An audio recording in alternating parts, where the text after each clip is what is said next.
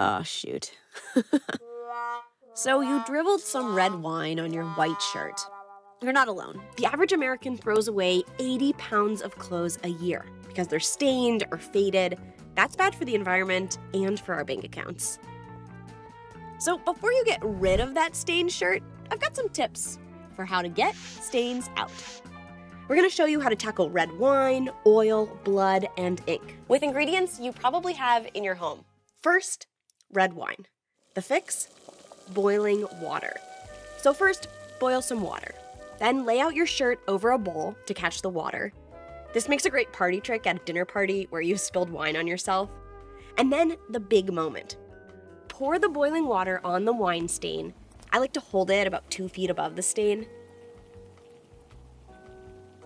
And voila, it's gone. Stain number two an oil stain. This could be any kind of oil. We used a little bit of salad dressing here. The fix? Dish soap. First, get off all the gloopy stain and rinse it with cold water. Then, use an eyedropper to apply dish soap to the stain. Rub it in and rinse again with cold water. You can repeat this for as long as it takes to get the stain out. Totally gone. Stain number three blood. The fix, if you're quick enough, sometimes just cold water will do the trick. And we're gonna first just try and just get a little bit of it out just with the water. If that doesn't get all the blood out, move on to hydrogen peroxide. You can use an eyedropper to apply the hydrogen peroxide just to the stain and work it into the stain with a cotton swab. Where's it gone? Stain number four, ink. The remedy? Rubbing alcohol. You'll need a paper towel Put the paper towel underneath the stain, then drop some rubbing alcohol on the ink. You can actually see the alcohol diluting the ink as this is happening. Blot it with a cotton swab to pick up that ink.